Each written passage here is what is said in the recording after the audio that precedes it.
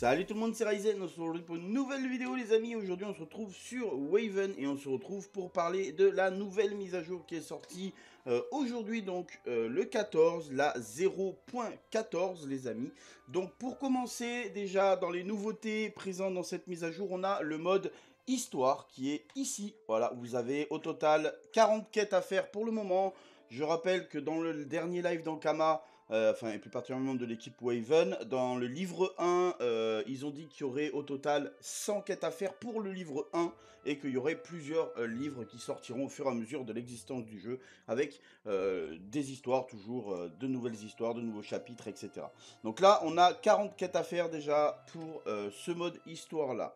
On a la nation d'Amakna, les amis, toute nouvelle nation qui vient d'arriver sur le jeu. Il y a 15 nouvelles quêtes secondaires proposées, plus de 300 succès euh, qui sont ajoutés au journal de bord euh, pour, cette, euh, pour cette petite île. Au précis, précisément, on a tout ça. Voilà, en quête, on en a 15 et en succès, on en a vraiment beaucoup à faire. Donc, il y a au total 4000 points de succès à récupérer du coup sur l'île. Donc ça fait quand même pas mal. Donc voilà. Après, on a deux nouvelles quêtes à Bonta, deux nouvelles quêtes à euh, Brakmar. On a aussi euh, deux nouveaux succès à Bonta et à Brakmar qui sont ajoutés en, enfin, avec cette euh, petite, avec ces quêtes qui, qui viennent d'arriver. en autre nouveauté, on a aussi le nouveau personnage, le nouveau Yop, qui est ici, mais il est encore bloqué pour le moment. Donc ça, ça va arriver, je pense, le 19 parce que disponible prochainement dans le pass de combat. Donc ça sera le prochain pass de combat qui arrive le 19. Euh, donc on aura euh, ce nouveau petit Yop. Voilà. Qui est juste magnifique en femme et en homme. Voilà. Le Picastra Mantis, la nouvelle petite variante du Yop. Donc ça sera la première classe du jeu à avoir 6 variantes. Donc ça, ça fait plaisir et j'ai hâte. Elle sera dispo en avant-première euh, le 19 du coup dans le pass de combat Platinium. Il faut bien euh, préciser que c'est le Platinium. Le Platinium, qu'est-ce que c'est les amis? C'est le pass le plus cher, c'est celui à 14 euros, c'est celui-là, le pass Platinium. Donc ça sera euh, celui de, du 19. Voilà, il faudra le prendre, c'est 14,99 euros les amis. Donc, donc voilà, si vous le voyez ici, voilà, Gold Pass et tout. Ensuite, dans la généralité, il y a des nouveaux effets dans les quêtes quotidiennes. Euh, il y a, des, y a hum, des petites modifications de classe. Il y a le Krabunlam qui a été un petit peu modifié au niveau des compétences. Il y a l'arc Piven aussi, le vol de rack. Je vous laisserai aller voir sur le site euh, ou mettre pause à la vidéo parce qu'il y aura euh, bien sûr les, les caracs qui vont, qui vont défiler. Donc euh, voilà, le Voldorak, euh, euh, les l'ambre Tamashi de l'Eniripsia, la gemme déphasante qui a été pas mal up, il y a eu beaucoup beaucoup de modifications sur, sur cette classe-là. on a aussi le pinceau Kokoro, après dans les Yop, on a le Bouvaloir au rock qui a été modifié, le flamboyant Kasai qui a été modifié avec une compétence qui a fusionné, enfin deux compétences qui ont fusionné pour en donner une nouvelle.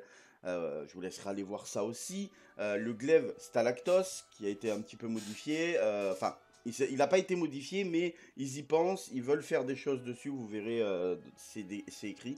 Le Larmageddon euh, Spectral, c'est pareil, c'est-à-dire ce perso-là. Ils sont en train de réfléchir à qu'est-ce qu'ils vont faire au futur de cette classe. Donc je pense que dans les prochaines mises à jour, il va y avoir justement euh, des, des petites modifications dessus, voire des grosses modifications. C'est pas encore la seule phrase qu'ils ont donnée pour le Larmageddon, c'est note des développeurs, nous réfléchissons au futur euh, du héros. Donc ça peut être une totale refonte, comme des petites modifications pour ajuster, pour le rendre peut-être un petit peu moins cheaté ou un petit peu plus fort, on ne sait pas encore. En tout cas, voilà, ça va arriver, ils y pensent, donc on verra un peu ce que ça donne. Au niveau des SRAM, on a la Cisai Orishi qui a été euh, modifiée aussi au niveau des passifs et des compétences. Enfin, du moins un passif de base et euh, deux compétences. On a l'écorcheur Shugen euh, qui lui a aussi a été modifié avec une compétence et une nouvelle compétence héroïque qui est arrivée sur, sur, sur l'écorcheur Shugen. le Ken Kartana, il y a les passifs et les compétences, enfin il y a un passif et quatre compétences qui ont été modifiées. des petits ajustements, etc.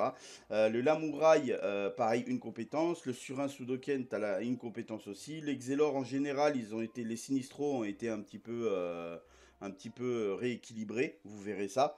L'aiguille Pikuxala a été aussi un petit peu modifiée. Je vous laisserai vraiment lire en détail toutes les modifications qu'il y a directement sur le site. les amis, vraiment, on a aussi le, catalyseur Premium qui a été un petit peu modifié. En gros, mais vraiment, euh, voilà, il a été modifié. En gros, les compétences héroïques, enchaînement premium, donc le blindage bonus, c'est 20% au lieu de 100%. Voilà, donc ça sera un petit peu moins fort, je pense. Euh, mais voilà, le régulant Gourpapa, le Sabiasson Jikan aussi a été modifié, le synchronisateur Taco.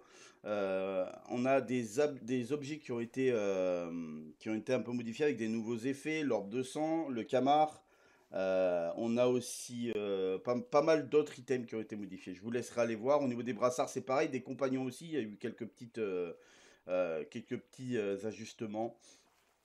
Et voilà, on a le PVE, on a le, boss vampire qui a été un petit peu up. C'est-à-dire que maintenant il a 3 points de mouvement au lieu de 2 précédemment. le monarque Tofu Calimera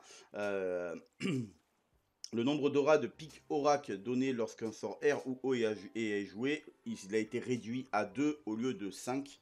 Voilà, et on a enfin un petit équilibrage au niveau du PVP. Alors l'équilibrage du mode PVP et PVE, c'est séparé maintenant, c'est-à-dire que les items euh, vont peut-être, enfin pas les items, mais les sorts, tout ça va donner des choses en PVE euh, qui ne donneront pas forcément les mêmes en PVP, etc. Pareil, il y a beaucoup beaucoup de choses, mais en gros, euh, c'est les dégâts de zone sont généralement euh, attends euh, en alignant avec les mises en œuvre de la courbe d'équilibrage des ajustements significatifs sont apportés dans divers contextes. Les dégâts de zone sont généralement accrus pour compenser le faible nombre d'ennemis au PVP. Les héros dans le passif reposent sur les mécaniques de soins ou d'armure voient leur point de vie de base réduit. En contrepartie, leurs attaques sont augmentées pour mieux récompenser leur agressivité. Enfin bref, c'est que des choses comme ça qu'ils ont améliorées pour, pour tout ce qui est PVP. Donc je vous laisserai aller voir euh, plus en détail parce qu'il y a quand même un bon chapitre et je ne vais pas tout vous le détailler là, mais euh, il y a un bon chapitre euh, sur le PVP.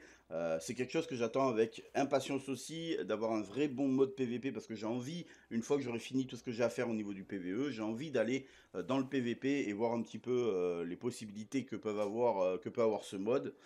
mais voilà, après, il y a eu des petites modifications pour le PVP au niveau des identités de classe. Euh, donc, euh, donc voilà. Après, euh, qu'est-ce qu'il y a eu d'autre? Il n'y a pas eu grand-chose. Des petits succès qui ont été modifiés, des choses comme ça. Mais voilà, globalement, pour la mise à jour 0.14, les amis, il y a beaucoup, beaucoup de positifs. On a aussi l'emplacement d'Albuera, parce qu'elle n'est pas encore disponible, vous savez, ils l'ont dit, elle n'est pas encore disponible Albuera, mais elle sera juste ici. Voilà. Disponible prochainement. Voilà, c'est Albuera, on le sait. Juste à côté de l'île des Bouffetous. Voilà. Donc ça, ça fait plaisir. Mais c'est surtout, on a quand même pas mal de choses à faire pour s'occuper. On a euh, la nation d'Amakna. Pour ceux qui ont fait euh, Bon Taille Brakmar, vous avez deux nouvelles quêtes. Mais surtout, petite nation d'Amakna et le mode histoire, les amis. Donc voilà. En gros, voilà pour euh, cette petite mise à jour, les amis. J'espère en tout cas que la vidéo vous aura plu pour ceux qui n'ont pas eu le temps de suivre un petit peu toutes les nouveautés qui sont sorties. voilà dans les grandes lignes, je vous laisserai, comme je vous l'ai dit, aller euh, sur le site, vérifier, enfin pouvoir voir dans les détails toutes les modifications, le patch note, etc. Euh, mais voilà, en tout cas moi je vous laisse, je vous dis à très vite pour de nouvelles vidéos. Beaucoup de vidéos arrivent du coup sur Waven. En plus des builds, je vais vous faire euh, les quêtes du mode d'histoire, etc. Les tests de l'Astra, du pic Astra Mantis dès qu'il sort. Euh, c'est-à-dire le 19, vu que moi je prends le pass Platinum, je vous ferai des petites vidéos découvertes du gameplay, et après on ira, on ira essayer d'aller faire euh, des, euh, des petits builds. Je vais me concentrer sur cette classe principalement à up en premier, vu que c'est une classe un peu exclusive au pass, jusqu'à la fin de saison lance dure, et qui sera dispo du coup à la fin de la saison lance dure pour tout le monde. On va essayer d'en profiter, de faire des petits builds, voir un peu ce que ça peut donner. Si vous avez des conseils, euh, quand les vidéos sortiront. Pour ceux qui ont le perso, n'hésitez pas, je suis preneur. Et comme d'habitude, s'il y a des gens dans les commentaires qui veulent venir présenter leur bulle, comme vous avez pu voir sur la chaîne avec Radin, Vodkov, Ox, etc., etc., ben, n'hésitez pas à venir sur le Discord. Vous avez une invitation dans, la description de la vidéo. Et si jamais l'invitation n'est plus valide, n'hésitez pas à me le dire. Je vous en remettrai une en commentaire, bien évidemment. Et euh, si vous voulez venir présenter vos builds, de n'importe quelle classe qui soit, n'hésitez pas. Regardez juste que ce ne soit pas les mêmes builds que j'ai déjà présentés, mais sinon, il n'y a pas de problème. Vous pouvez venir euh, euh, présenter vos builds en vidéo. Il n'y a aucun problème là-dessus, les amis. Sur ce, moi, je vous laisse. Je vous fais des bisous, puis je vous dis à très vite pour une nouvelle vidéo. Bye bye